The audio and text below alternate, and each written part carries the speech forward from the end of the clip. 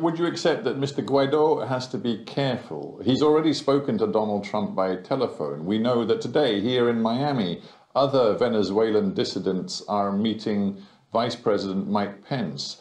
If the Venezuelan opposition is seen to be too close to the Trump administration and to the United States, that may well raise suspicions back home in Venezuela. It may allow Maduro to use this narrative about US imperialism. Is that a danger?